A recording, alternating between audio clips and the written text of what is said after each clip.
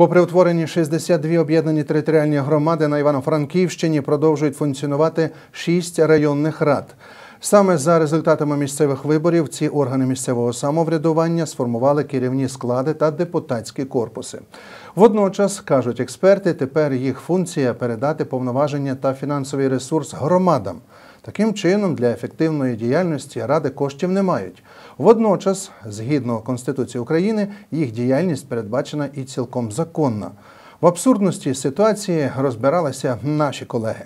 На Прикарпатті, згідно реформи децентралізації, творено 62 громади. Саме їм районні ради повинні передавати повноваження і фінансовий ресурс. Це результати змін, які повинні принести покращення діяльності місцевого самоврядування та поверненням обличчя влади до міста містечок і жителів, які хочуть покращення внаслідок реформи.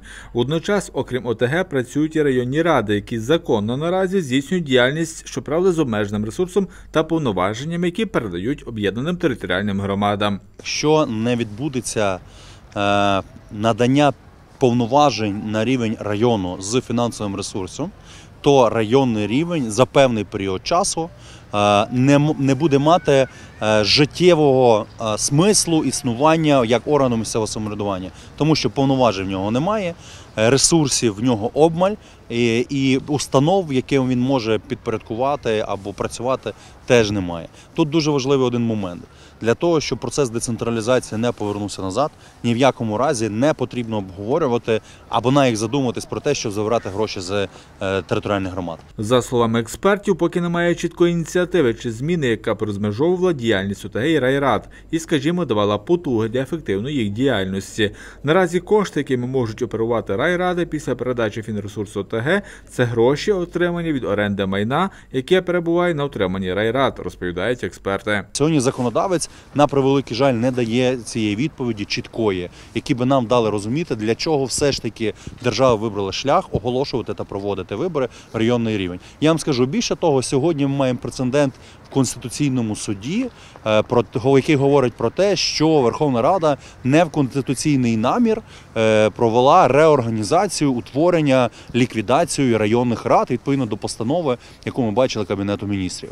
Тобто. е, Якщо ми говоримо за весь процес децентралізації в ідеальному форматі, він мав би розпочатися змінами до конституції. Хочемо ми цього чи не хочемо, потрібні вони чи не потрібні.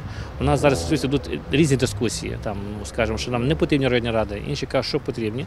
Але у нас є основний закон, це є Конституція України, який- де, де передбачено ці районні ради. Оскільки місцеві вибори лише нещодавно відбулися, та найближчим часом центральна влада в сторону до місцевого самоврядування навряд чи повернеться. Прогнозує депутат обласної ради Василь Мельничук. Які б не були повноваження та ресурси, певна діяльність буде вестися, оскільки вона цілком законна, якщо мова йде про районні ради. Ми йшли на вибори і не знали, чим будуть районні ради займатися, тобто які будуть повноваження.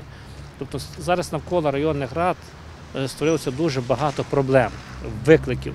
І е, я не є там е, песиміст, так я, я по природі, я є реаліст, і я вважаю, що і для районних рад, і для місцевого самоврядування чекають дуже непрості е, часи, так і можуть бути різні сценарії.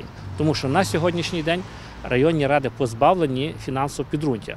Та й загалом додають експерти, зважаючи на непросту ситуацію в державі, політичні призначення, які не завжди спрямовані для якісної роботи, змін на краще для місцевого самоврядування не варто чекати. А районні ради, якщо бачитимуть свою неефективність, можуть приймати рішення і про саморозпуск уже в найближчому часі.